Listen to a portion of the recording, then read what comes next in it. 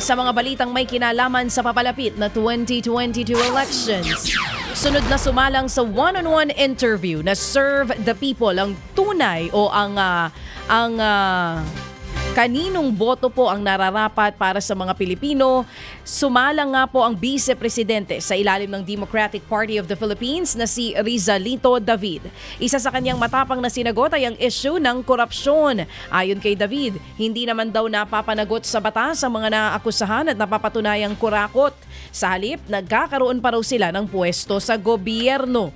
Dagdag pa ni David, sakaling maluklok sa pwesto, hindi nila gagayahin ang administrasyong Duterte na nangakong tutugisin ang mga kura pero hindi naman anya natupad.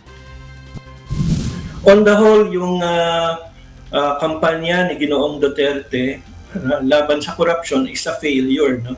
At kami naman, hindi naman kami ni mga politiko at hindi kami mga ngako, mga ngako. Ang sinasabi namin ay katiyakan yan na kung kami ang mamumuno, sisiguraduhin namin na mangyayari ano man ang aming sinabi ah, sa ating mga mamamayan. Yan po ang tinig ni Vice Presidential Candidate Rizalito David. Kaugnay niyan, binigyang din ni David ang pagkontra niya sa pagbabalik ng death penalty sa bansa.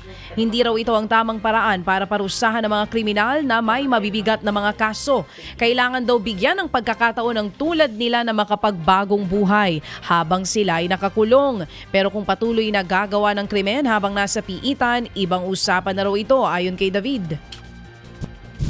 Kasalanan na po ng pamahalaan yan. No? Kailangan i-monitor, bantayang maigi, na walang mangyayaring ganon. Hindi naman po yan napakahirap gawin kung talagang ang gobyerno ay ah, honest. Yan ang tinig ni Vice Presidential Candidate Rizalito David.